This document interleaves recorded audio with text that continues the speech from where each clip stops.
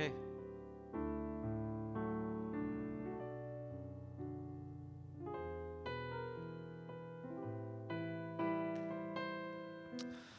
네, 2월 18일 아침 기도회 온라인으로 참석하신 여러분들을 환영합니다. 오늘 함께 나누실 말씀은 이사야서 63장 1절에서 6절 말씀입니다.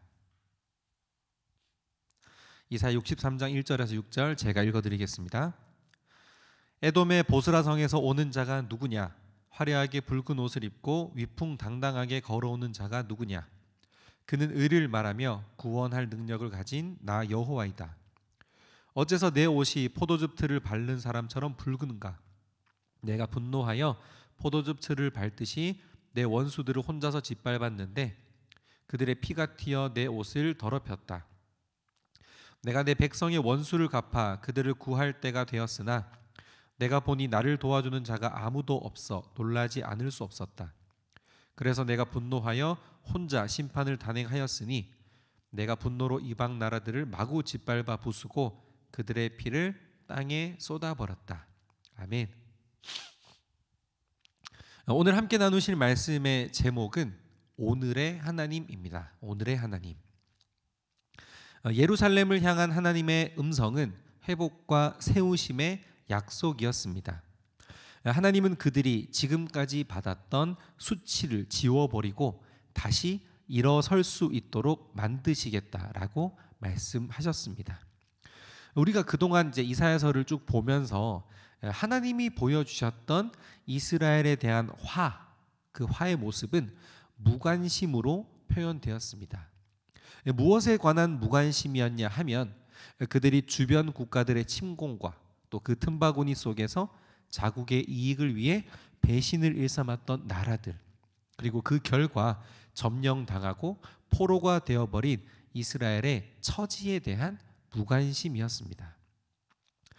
실제로 이스라엘은 그런 하나님의 무관심 속에 무참히 짓밟히고 속절없이 무너졌습니다.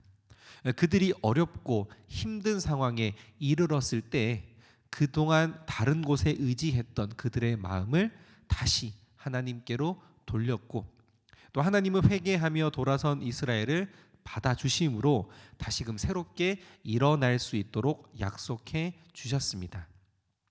어, 그것이 이스라엘에게는 구원의 약속이 되었지만 반대로 이스라엘을 괴롭히고 이스라엘을 어, 짓밟았던 이 주변 국가들에게는 약속의 민족이었던 이스라엘을 마음대로 유린한 심판의 대가로 나타나게 됩니다. 바로 오늘 본문에 있는 그 말씀이 이 심판의 내용으로 등장합니다. 예, 오늘 본문에 에돔이라는 나라가 나오는데요. 이 에돔은 이스라엘과 형제와 같은 나라입니다. 아, 성경에 자주 등장하는 인물 중에 야곱이라는 인물이 있습니다.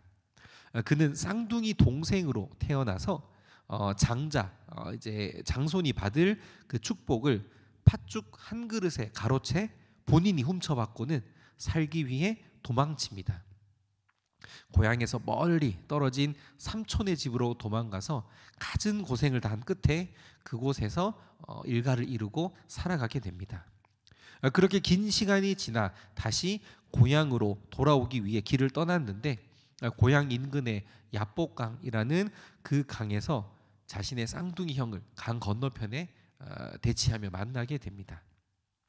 이 동생의 계략에 자신이 받을 복을 모조리 빼앗겼던 이 형은 강 건너에 있는 동생이 건너오는 즉시 그를 쳐 죽이기 위해 어, 혈안이 되어 있었습니다. 강 반대편에서 죽음의 공포로 두려워하고 있는 이 야곱에게 천사가 나타납니다.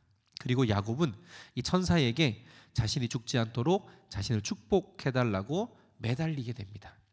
아, 천사는 받아들이지 않자 이 야곱은 그를 가지 못하도록 속된 말로 바지가랑이를 붙들고 매달리게 됩니다. 예, 성경에는 천사와 야곱이 씨름했다라고 기록되어 있는데 어, 그냥 제가 생각하기에는 다 큰 어른이 떼쓰는 모습 어, 그런 것들이 좀 상상이 됩니다. 하다 하다 안 된 천사가 이 야곱의 환도뼈를 쳐서 부러뜨립니다. 엉덩이와 치골 사이에 있는 이 환도뼈가 다치면서 야곱은 절름발이가 되어버리죠. 그리고 천사는 그에게 이렇게 이야기합니다. 창세기 32장 28절 내용인데요. 어, 네가 내가 하나님과 겨루고 사람과 겨루어 이겼으므로 다시는 너의 이름을 야곱이라 하지 않고 이스라엘이라 부를 것이다. 어, 새 이름을 얻은 그는 다리를 절룩거리며 강을 건너게 되고 그 모습을 바라본 쌍둥이 형은 그만 동생에 대한 화가 모두 풀어지게 됩니다. 어, 그들은 극적으로 화해하게 됩니다. 바로 이것이 이스라엘이라는 이름의 시작입니다. 그리고 쌍둥이 형의 이름은 에서인데요. 오늘 본문에 있는 이 에돔은 어, 에서의 후손들의 자손들의 나라입니다. 이 에돔과 이스라엘의 관계가 어떤 관계였을지 어, 여러분들 짐작이 가시겠습니까? 어, 오늘 본문에는 그런 에돔에 대한 심판이 나옵니다. 문맥상으로 볼 때 이스라엘의 구원과 더불어 이스라엘을 괴롭힌 나라의 심판에 대한 내용인데 하필이면 형제의 나라 에돔이 이스라엘을 향해 그렇게 대했습니다. 형제의 나라였지만 이 에돔은 이스라엘과 반목하는 관계였습니다. 그들에게 우호적이지 않았습니다. 특히 남유다가 이 바벨론에 침공을 당할 때 이 에돔은 바벨론을 돕는 역할을 하게 됩니다. 그리고 아주 여러 차례 칼과 활을 들고 쳐들어와서 그들을 위협하게 됩니다. 이 형제의 나라의 패망을 즐기면서 이를 자기 나라 확장의 기회로 삼은 이 에돔과 그 민족들이 오늘 하나님의 심판을 받게 되는 이유입니다. 어, 이사야가 본 환상 속 장면은 아주 드라마틱합니다. 이 에돔의 보스라 성을 등지고 온 몸이 포도빛 피로 물든 자가 걸어옵니다. 위풍당당하게 걸어오는 모습 여러분 상상이 되십니까? 마치 영화 속의 한 장면처럼 푸연 먼지가 피어오르는 황야 끝에서 호롤단신 이 적들을 물리치고 승전하는 전사의 모습과 같습니다. 이사야는 그 존재가 여호와라고 이야기합니다. 그냥 여호와가 아니라 오늘 본문에 의를 말하며 구원할 능력을 가진 여호와라고 이야기합니다. 아, 그렇습니다. 구원할 능력을 가지신 분은 여호와 하나님 한 분뿐이십니다. 아, 제 아무리 강력한 힘과 강력한 권력을 가지고 있다 하더라도 감히 소유할 수 없는 유일한 힘을 하나님이 가지신 것입니다. 어, 나에게 힘이 있다고 생각하는 순간 아, 그것이 어, 개인의 사람이든 어떤 단체든 그리고 나라든 상관없이 스스로 교만해지게 됩니다. 내가 다 할 수 있다라고 생각하면서 나에게 주어진 힘을 통해 주변을 어렵게 하고 또 불행하게 만듭니다. 공교롭게도 요즘 국제 정세가 대단히 어지럽습니다. 힘을 가진 나라가 힘이 없는 나라에게 바벨론이 이스라엘을 대하듯 위협합니다. 그리고 주변에 있는 수많은 에돔과 같은 나라들은 열심히 자국의 이익을 생각하며 어느 편에 설지 어떤 스탠스를 취할지 계산하기에 바쁩니다. 그러나 그들에게는 그러한 자격이 없습니다. 인간의 권력은 유한합니다. 나라의 권력도 마찬가지입니다. 영원히 소유하거나 영위할 수 없습니다. 화무 11홍, 권불 10년이라 했습니다. 붉게 핀 꽃은 언제나 지게 마련이고 아무리 높은 권력도 10년은 가지 못한다라는 말입니다. 인간의 역사는 어, 역설적이게도 그런 인간의 유한함을 매 순간순간 보여줍니다. 그리고 어리석게도 인간은 같은 실수를 반복하며 살아가고 있습니다. 이 에돔이 그토록 이스라엘을 괴롭히며 자신들의 권력을 만끽하고 살아왔지만 결국 하나님 한 분의 힘 앞에 처참하게 무너질 것이라는 이 이사의 예언은 오늘 우리에게도 시사하는 바가 큽니다. 어, 이 이스라엘이 하나님의 구원을 선물로 받을 수 있었던 것, 야곱이 이스라엘로 축복을 받을 수 있었던 이유는 그들의 힘과 능력 때문이 아닙니다. 어디 가서 큰 공을 세우고 돌아와서 상으로 받듯이 그들이 받은 것도 아닙니다.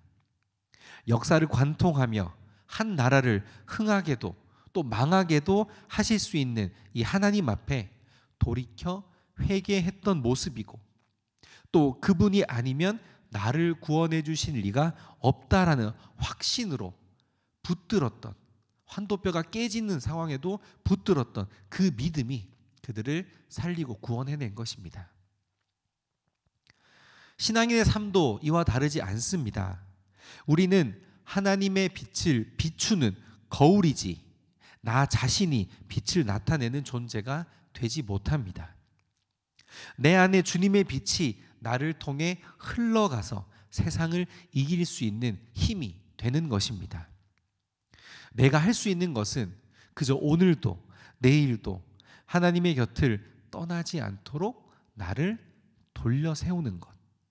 그 하나님의 사랑과 은혜가 나를 살린다는 것을 믿는 믿음뿐입니다. 그 시절 이스라엘의 하나님이 에돔의 피로 온 몸을 물들이셨다면 오늘의 하나님은 십자가에서 나를 위한 자기의 피로 몸을 물들이셨습니다. 나의 죄를 대신해 죽음을 선택한다는 것, 그 힘을 나타낸다는 것, 다른 누구도 아닌 여호와 하나님만이 하실 수 있는 힘이고 능력입니다. 오늘의 나로 살아가지 않고 오늘의 하나님을 힘입어 살아갈 수 있는 저와 여러분이 되시기를 소망합니다. 함께 기도하시겠습니다.